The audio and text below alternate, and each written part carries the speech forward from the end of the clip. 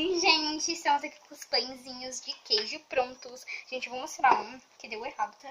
É, deu errado. Olha esse, gente. Mas Só que eles parecem outros- estão, estão ótimos. Eles parecem tão muito bons. Isso aqui mata a mão.